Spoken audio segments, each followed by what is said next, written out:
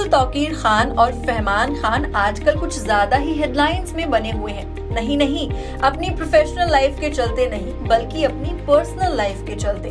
बहुत सारे रूमर सुनने में आए कि दोनों के बीच में इतनी गंदी लड़ाई हो गई है कि अब एक दूसरे से बात ही नहीं करेंगे।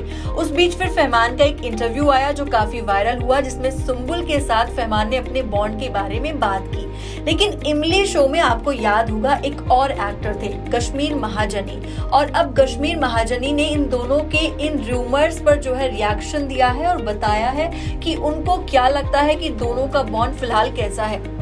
एक्टर कश्मीर महाजनी ने भी अपने एक इंटरव्यू में कहा कि ये बात दो दोस्तों के बीच की है और शायद उन्हीं के बीच की रहने देना चाहिए।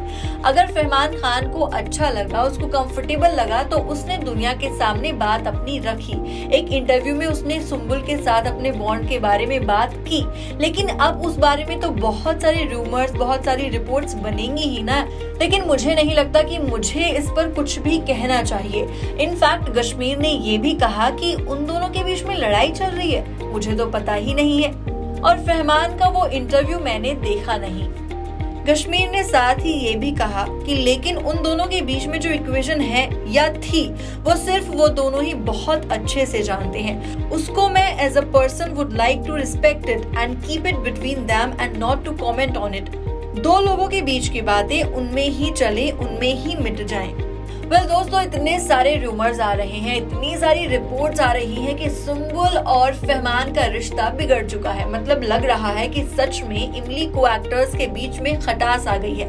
लेकिन सुमान के फैंस जो है इस बात को मानने के लिए तैयार नहीं है क्योंकि उनको तो सुम्बुल और फहमान साथ में ही चाहिए। लेकिन बेचारे फैंस को कौन समझाए कि कुछ पर्सनल चीज़ें हो सकती हैं? क्योंकि फहमान ने कहा था अपने इंटरव्यू में कि सुम्बुल के साथ उनकी जो भी खिटपिट है या जो उनका रिश्ता है, वो सुम्बुल के पापा की वजह से है। और जितना सुम्बुल को हम जानते हैं सुम्बुल अपने पापा के लिए कुछ भी नहीं सुनेंगी।